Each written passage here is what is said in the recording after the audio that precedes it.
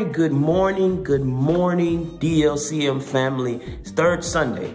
Here we are, and God has been blessing us this month. I know this word has been rich to you. I know that it's been a lot, a lot of content that you have received. I hope you've been taking notes, going back, rewatching the live streams to receive more information and more revelation of God's word. Faith coming by hearing hearing by the word of God. So make sure that you're doing that. Listen, go ahead and hit that share button. You know, that is our thing. As soon as we get on our live stream, we want to hit that share button because us sharing it will bring more people to the possibility of receiving Jesus Christ. It's week three of our Rethink series, and God is going to bless us. Go ahead and type in the text box. I'm ready for this word. I'm ready for this word. Go ahead, type that in the text box. I'm ready for this word. And I believe that God is going to bless you tonight. Listen, again, I say, those of you who attend on Sunday, I need you to come back with us on Tuesday. Make sure that you're in the place on Tuesday. Our Thrive Revival is going on, and God has been blessing us. I don't want you to miss out on the blessing, all right? Thank you so much. Make sure you're bringing in your non-perishable items. All right, we're going to feed over 200 families. I believe that whatever God gives us to do as a part of the vision, we are going to get it done. Watch this and exceed the goal Let's exceed the goal. Let's let's wow uh, ourselves in what God has called us to do. All right. Make sure that you're praying again for your leaders. Pray for uh, your founders, Apostle Norbert, Lady Simmons. Pray for your leaders, myself and Lady Ashley, that we will continue to do what God has called us to do. Thank you so much. Let's have church. God is gonna do something.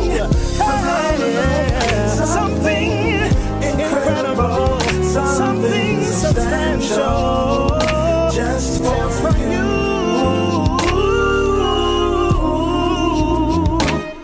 is gonna do something phenomenal, something incredible, something substantial, just for you.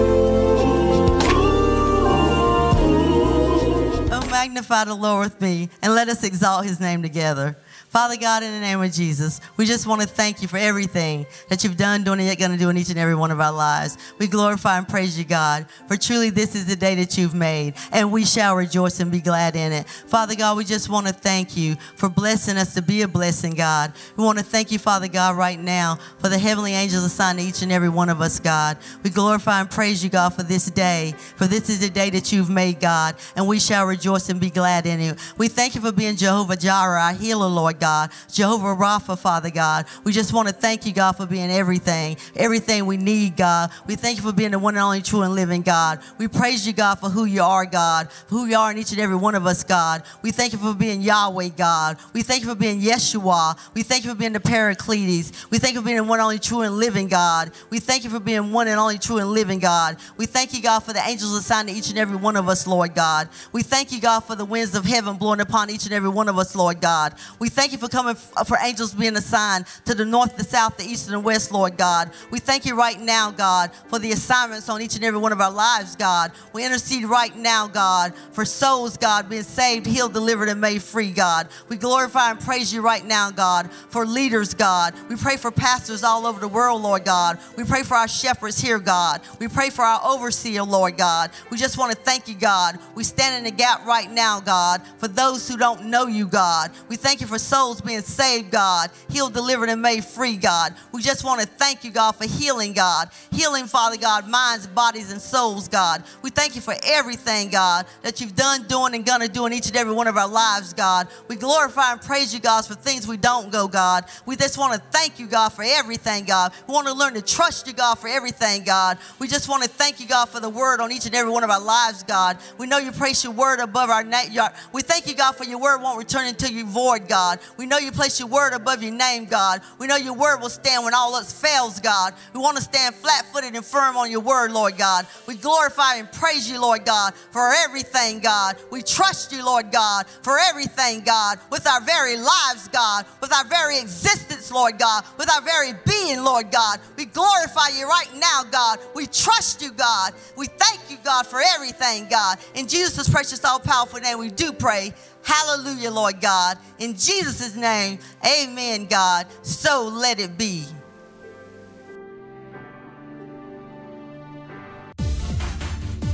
Hello, Deep family. Join me in saying our mission statement. Our mission is to impact our city with effective, life changing ministries, to make and to nurture humanity into disciples of Christ, to usher humanity into economical and spiritual empowerment, to embrace and meet the holistic needs of all humanity. And we accomplish this through our vision to teach, reach, love, and serve.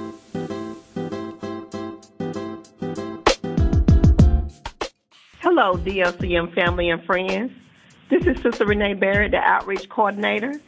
On behalf of Apostle Simmons and First Lady Gwen Simmons and Senior Pastor Aaron McNair and Lady Ashley McNair, I just want to gently remind you and encourage you to not forget about our upcoming event in November. Yes, the Thanksgiving giveaway.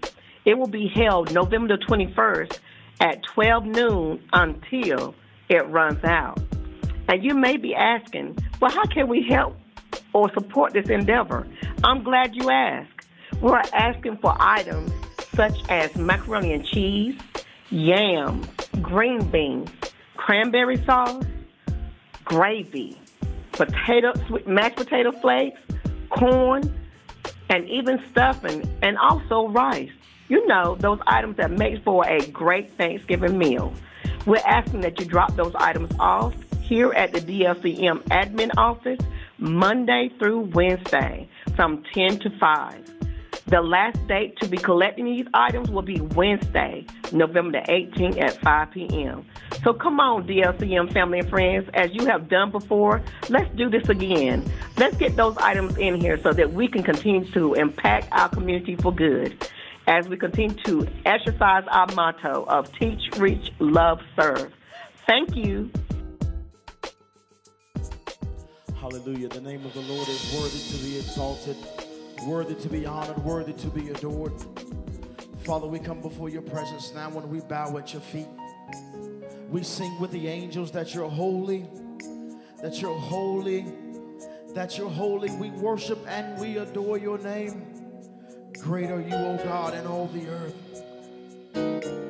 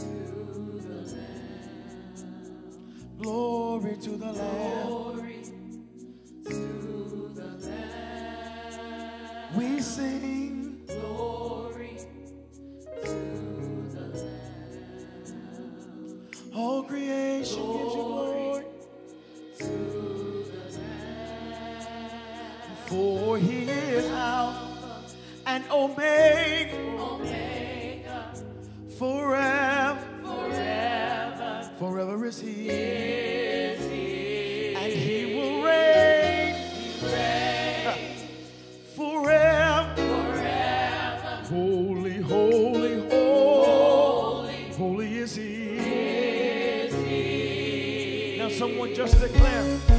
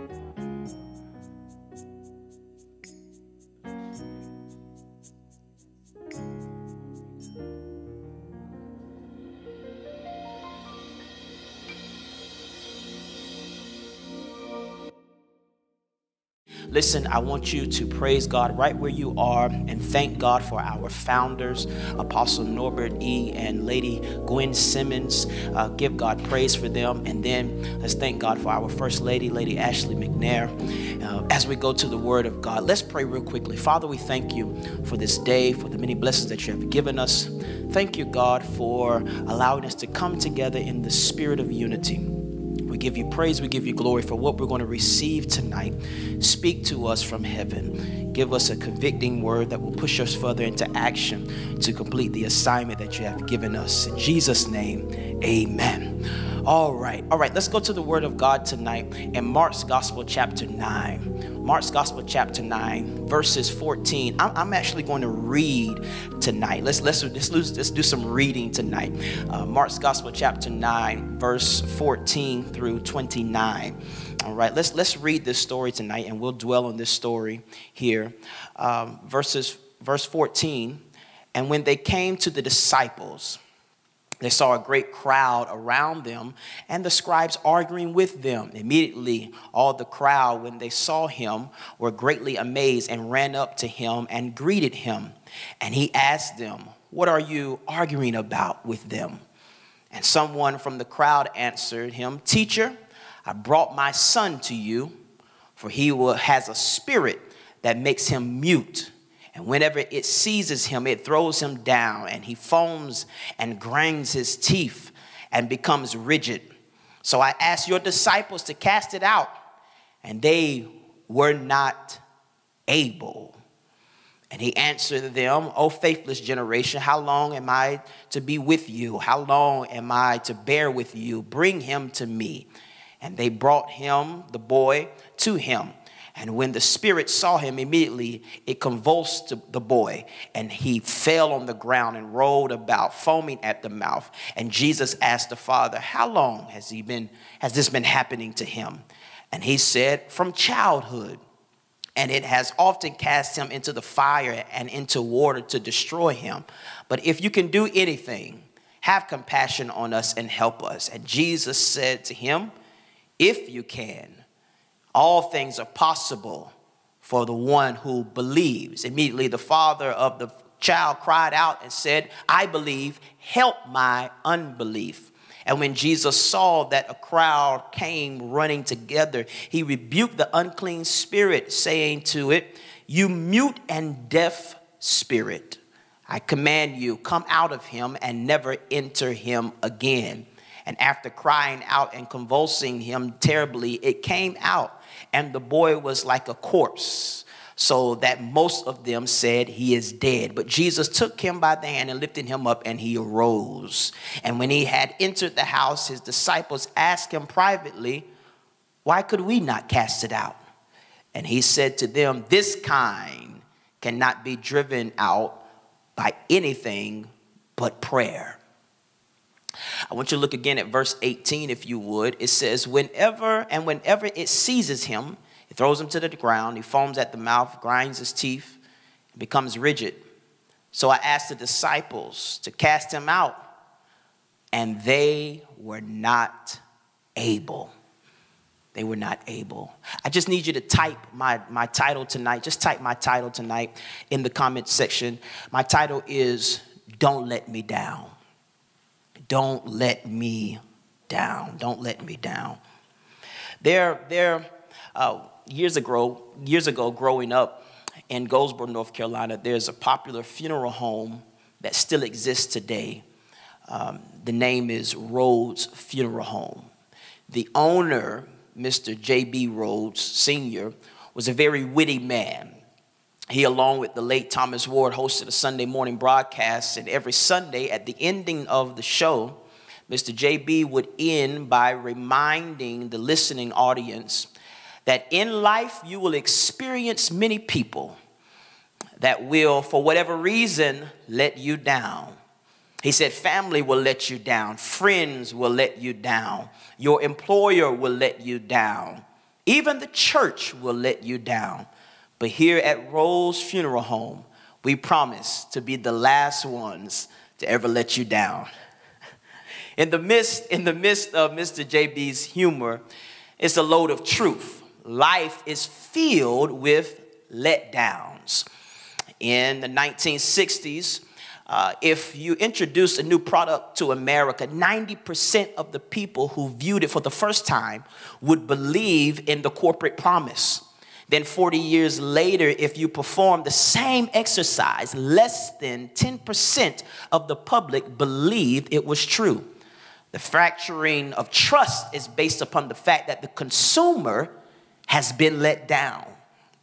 This little survey clicked in my mind when I considered uh, that George Barna asked the question that if 95% of Americans believe in God, then why is 95 to 100 million Americans of all ages still unchurched? Could it be, could it be that once some people are let down by the church, they don't give us or you, the church, a chance to let them down again? Now, a letdown is different from a put down. Letdown is different from a put down. But one will oftentimes give birth and reason to another. A letdown is to have heightened expectations disappointed. And a put down is critical remarks, which many times comes as a result of being let down, as it does in our text for today. Now, the first thing to establish, to be established, is the fact. First thing to be established is the fact that we need to care about letting people down.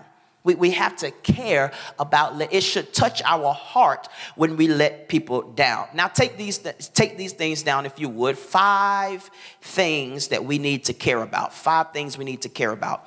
Number 1, not producing expected results. Not producing expected results, whether it be in work, whether it be at home, whether it be at church, not producing expected results is number one. Number two, not disappointing people's faith in you.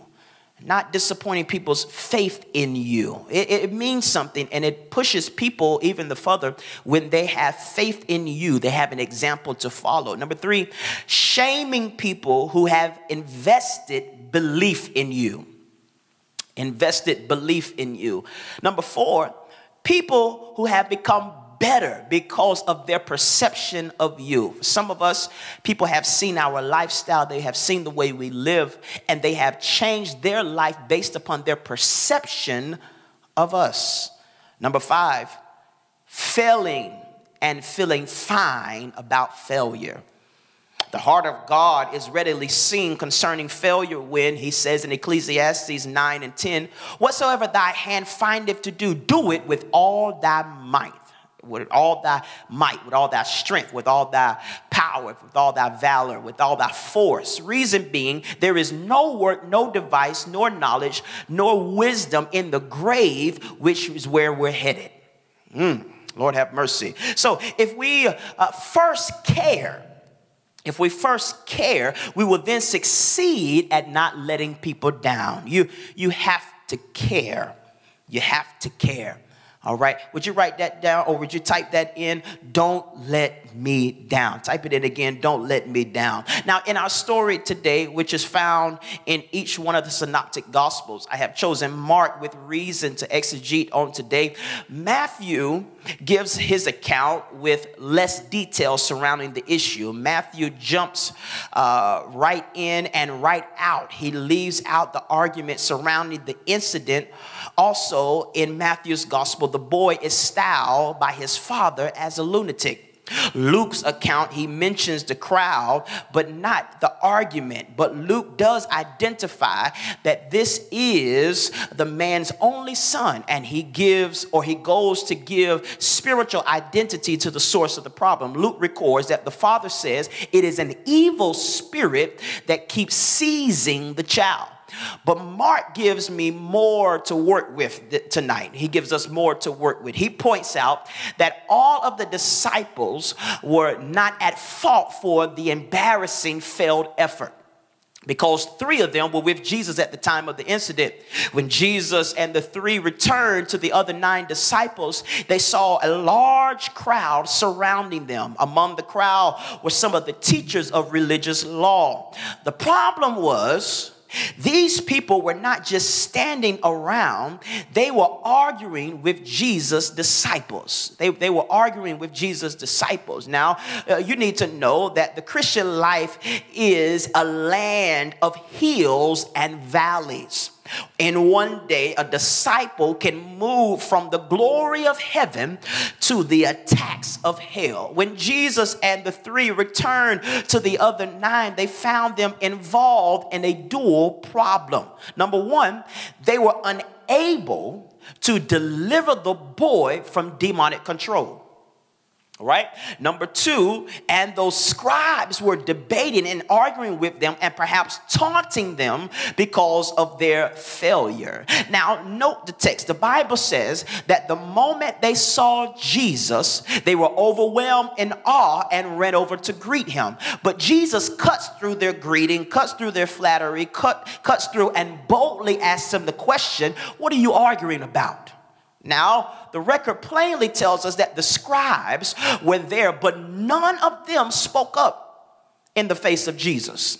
Now, they, now before Jesus gets there, they're, they're, raising a lot of sand. They're, they're, they're, they're doing a lot to, to get on these disciples. But when Jesus shows up, they don't say anything. And, and that's just like religious people uh, in, in, the church and in the world that can raise a $100 worth of hell but cannot uh, say anything when proof shows up.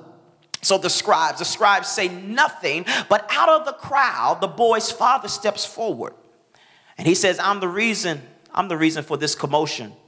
He says, I, I got this all stirred up. You see, I actually came here to see you, Jesus. Mm. So you could heal my son. He is possessed with an evil spirit and that won't let him talk. And whenever the spirit seizes him, it throws him violently to the ground. The boy starts foaming at the mouth, grits his teeth, and becomes rigid and becomes stiff as a board. Now, again, I came here to see you. Uh, but you and your boys were off at a field trip. So I went to those, watch this, who were chosen by you. Since you and your disciples were not here, I went to, uh, since you and your boys were not here, I went to your disciples. I went to them. I didn't go to the scribes for a solution. I came to those who belong to you. I didn't go to another physician. I came to those who belong to you. I didn't run to the Epicureans or the Stoics. Uh, I came to those who belong to you. I didn't take my problems to the Muslim society. No, I came because I came to those who belong to you. I didn't gallivant into Scientology, the Illuminati, or Buddhism, or Jehovah Witness, but I came to those who testify that they belong to you. They were called by you. They were saved by you. They were anointed by you, they were sanctified by you, they were commissioned by you. I came to your disciples, Jesus, and asked them to cast out this spirit, but your disciples could not. Mm. Lord have mercy. Your, your disciples couldn't do it. And I can't understand why they couldn't do it when you have given them authority in your name. Have you ever stopped to wonder how embarrassed Jesus may have been during this point?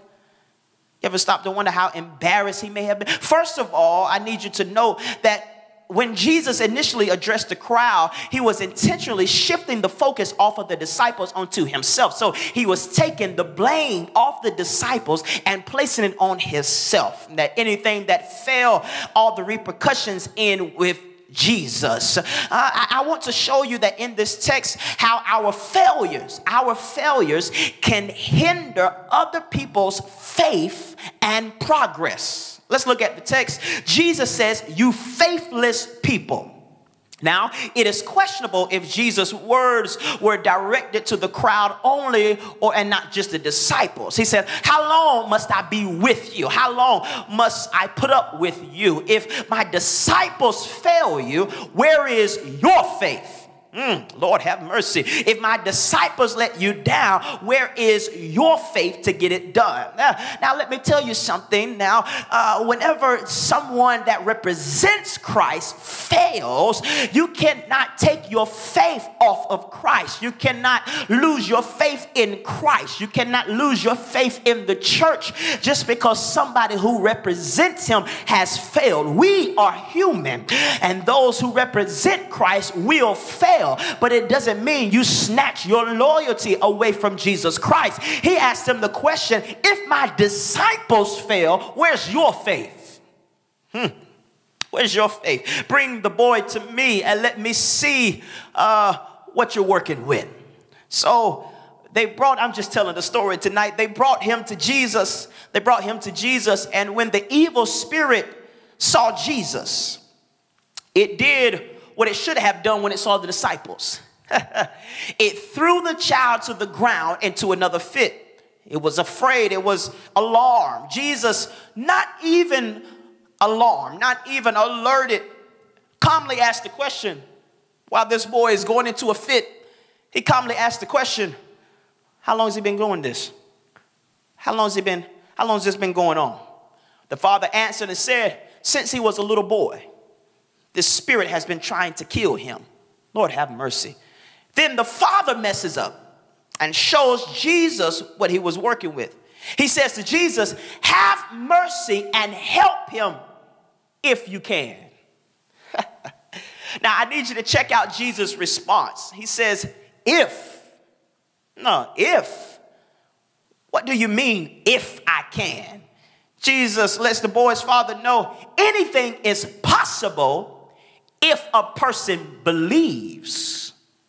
Uh, but here is here is where I run to the man's defense. I want to run to the man's rescue right here uh, because we have formed uh, years of persecution by many preachers. We have capitalized on this current lack of faith in this man. But I want to surmise through study and revelation uh, that faith can be interrupted. Mm. Faith can be interrupted, it can be tainted, it can be compromised, if it can be left in limbo if at any time it has been let down. I'm gonna say this again faith can be interrupted, faith can be tainted, faith can be compromised, faith can be left in limbo if at any time it has been let down. Lord have mercy. See, you have to remember before you jump on this man, because he said, if you can, before you jump on him, you gotta remember that this father left home because he believed. Hmm. Faith was the stimulus that led him to leave his house. So he left home because he believed. He traveled whatever distance with a possessed demonic child because he believed. He came looking for Jesus not on a whim, but because he believed. His initial words to Jesus was, Teacher, I brought my son to you so that you could heal him. No initial doubt, no initial fear, no initial disbelief, no initial wavering of faith. Never before now does the word if come into play. Lord have mercy. It, it, wasn't until after he was let down by the nine disciples that his verbiage changes to if you can. All right. Now, Jesus lets him know that you've been let down by the failure of people, but don't you let down your faith. And the father realized it was prudent that his faith be strong, and he yells out to Jesus, I do believe. And if there's any unbelief in me, help me overcome it. Right? Now, this story goes on to say that Jesus heals the boy and when he gets back to the house, when he gets back to the house alone with his disciples, they ask him the question. They ask him the question, what happened? What Jesus, what what went wrong? What why couldn't we cast out this demon? Look at the Jesus' simple reply that Luke doesn't really record at all. Uh, you see, you see, Jesus says to them, now y'all let that father down. You let that father, that little boy down because this kind only comes by prayer. Matthew says Jesus told them it was a problem with their faith. Now, I need you to understand this. Undoubtedly, the disciples had a measure of faith, but here's the full revelation. In effect, he said to them, You don't live close enough to God. Woo. Lord have mercy. Think about it. They, they had been equipped with power, but they needed prayer to maintain it. Woo, Lord have mercy. The warning, uh, the warning thought out in the text is the disciples failed to nurture the power with prayer, and thereby power vanished at the moment it was needed. You see, in order for the power and the anointing placed on the inside of you to work, you have to nurture it with the prayer life. You you got to bring yourself closer to Jesus Christ. Uh, Jesus told them, in effect, you don't live close enough to me. So when it was time for the power on the inside of you to work, Lord have mercy, it did not work because you're not close enough to the power source. Lord have mercy. I need you to type real quickly, how's your power? Yeah, just type that. How's your power? I, I, know about your gifting, but how's your power? I know about your talent, but how's, how's your power? Uh, yes, sir. Uh, what are you doing to secure the power that came with the gift, that came with the calling? So the question is when I call you, will you let me down? Whew. Lord have mercy. A lot of times we shift the responsibility of helping our brothers and sisters to the church at large. We shift the responsibility to the pastor. But if your brother or sister calls you, will you let them down? Will you will you let them down? You see, God gives us a gift, but unless we maintain close contact with him, the gift may wither and lose its power unless we maintain close contact with God through fasting, prayer, meditation, and disciplined living uh, we, we, and, and righteous living, we lose two things no matter how great our giftings may be. We lose vitality, we lose that living power that thing then becomes a performance instead of offering to God. That's why you have to be careful that you don't get caught up in what you do in the temple, what you do in the church, that you miss out on being connected to the one that you're doing it for. Then every time you jump on an instrument, every time you grab a microphone, every time you do your due diligence, it becomes a performance and it operates with no power. Then we lose humility. We lose humility because we then begin to think that because of our gifting, things are coming to pass, things are getting done. But no, no, we lose our humility because we shift the glory from God to ourselves. Jesus shakes the minds of these disciples, letting them know your power will work, but it will only work if you're close to the source. Don't let your brother and sister down.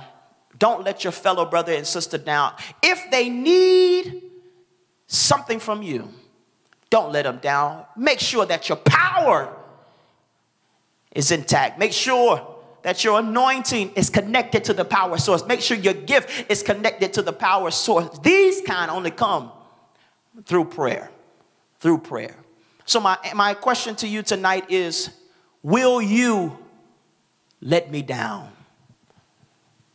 That's the question that those around you, your family is asking you, your, your friends are asking you, those who are in need of Jesus Christ are asking you, Will you let me down? I, I came, I came to church. I came to church, and because I, I came to the church because you are a disciple of him, you, you, you, you represent him. You, you said that you, you stand up for him. So I, I came to the church to receive. I came to the church to get. So I, I came to you because you said you're a Christian. I, I, came to you because you said you were saved. I came to you because you said you had the Holy Ghost. Will you let me down? Hear the cries of those who need Jesus Christ. Need the, hear the cries of those who need deliverance, need to be set free, need a breakthrough in, in their life. We cannot let them down. Listen, I pray this word has blessed you. I pray that it helped you. I pray that it opened your mind I pray that it pushed you to a place of conviction where we have to get closer to Jesus Christ. And I pray that it pushed you to a place that you want to say, I'll never let my brother or sister down.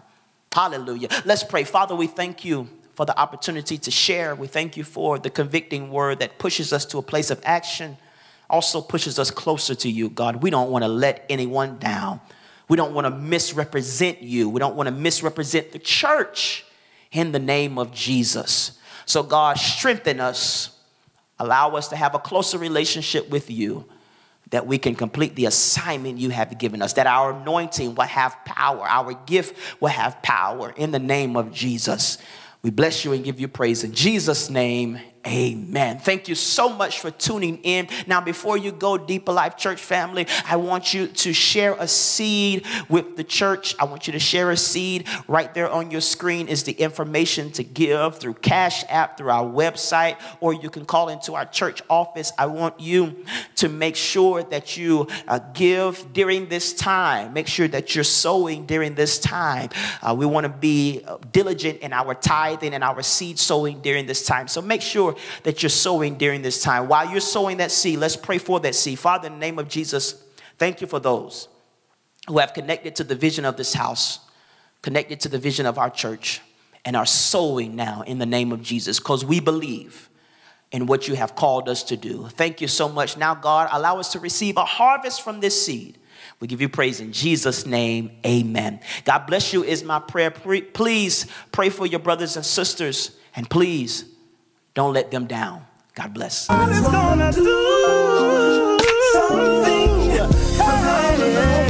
Something incredible, something substantial.